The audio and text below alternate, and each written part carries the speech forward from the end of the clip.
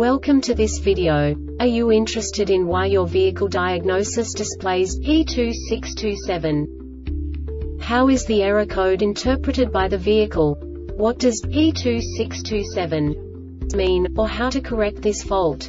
Today we will find answers to these questions together. Let's do this. First, let's look at the history of diagnostic fault code composition according to the OBD2 protocol, which is unified for all automakers since 2000.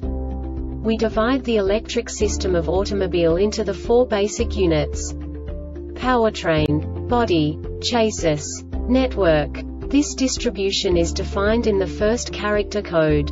If the second character is expressed as zero, it is a standardized error. In the case of numbers 1, 2, 3 it is a more prestigious expression of the car-specific error. The third character specifies a subset of errors. The distribution shown is valid only for the standardized DTC code. Only the last two characters define the specific fault of the group. Let's not forget that such a division is valid only if the other character code is expressed by the number 0.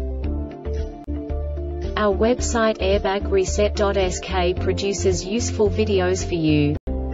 You do not have to go through the OBD2 protocol anymore to know how to troubleshoot any car breakdown. You will find all the diagnostic codes that can be diagnosed in a Mercury vehicles. Also many other useful things. The following demonstration will help you look into the world of software for car control units. You unbelievably can move the video a bit further. The error code is split into two bytes consisting of 16 bits. One bit is the basic unit that each computer works with. The bit has two logical states. 0, low level, 1, high level. By combining the first two bits, the basic character of the error code is expressed. The next two bits again determine the second character. The last beat styles of the first byte define the third character of the code. The second byte is composed of a combination of 8 bits. The first 4 bits determine the fourth character of the code. And the combination of the last 4 bits defines the fifth character. A single byte conceals 256 possible combinations.